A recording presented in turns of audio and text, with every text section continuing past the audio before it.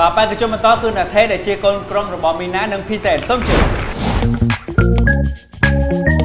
មនុស្សដែលមានស្បែកមុខស្អាតយ៉ាងណាក៏ដោយបើមានមុនយើងនឹងបាត់បង់ទំនុកចិត្តនិងភាពជឿជាក់សូមកុំទុកបញ្ហានេះនៅបន្តទៀត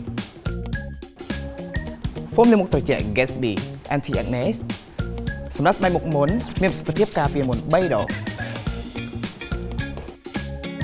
ស្បែកមុខស្អាតស្រស់ថ្លាគ្មានមុនកាន់តែមានភាពជឿជាក់ Yeah ព្រោះតែ Gatsby មួយគត់ទៅធ្វើឲ្យខ្ញុំលយបាខ្ញុំមាន Gatsby ខ្ញុំមានភាពជឿជាក់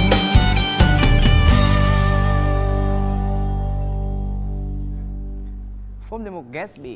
មុខសភ្លឺថ្លាគ្មានមុនគ្មានខ្លាញ់ នេះគឺកម្មវិធី Gatsby Idol